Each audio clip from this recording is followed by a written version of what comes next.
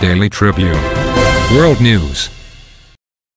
France protests. PM offers pension compromise and bid to end strike.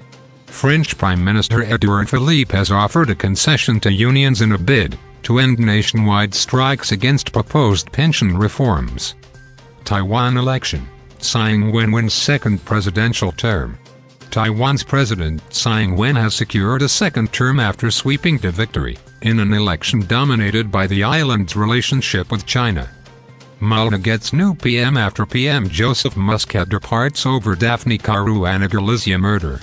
Robert Abela, elected as Labour leader after PM Joseph Muscat resigned amid controversy surrounding investigation of journalist death. Storms sweep southern U.S., Midwest as death toll rises to 11 severe storms sweeping across southern portions of the U.S. mainland and up into the Midwest were blamed Saturday in the deaths of at least 11 people. Thailand protesters run against dictatorship in Bangkok. Thousands of anti-government protesters took part in the run against dictatorship in the Thai capital Sunday in the biggest political demonstration in years. 12 migrants dead, 21 rescued at sea off western Greece.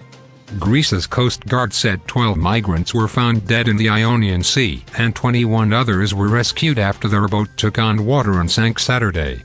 Serena ends title drought with Auckland win, donates winnings to Australian bushfire victims. Serena Williams ended a three-year title drought and donated her winner's check to victims of the Australian bushfires in an emotional WTA, Auckland, Classic final on Sunday. Meghan Markle reportedly signs Disney deal. According to Deadline and the Times of London, Disney will make a donation to Elephants Without Borders in return for Markle's work on an unspecified project. Dubai airport flights delayed, cancelled due to heavy rain. Dubai International, one of the world's busiest airports, cancelled, diverted and delayed flights on Saturday due to heavy rain and flooding.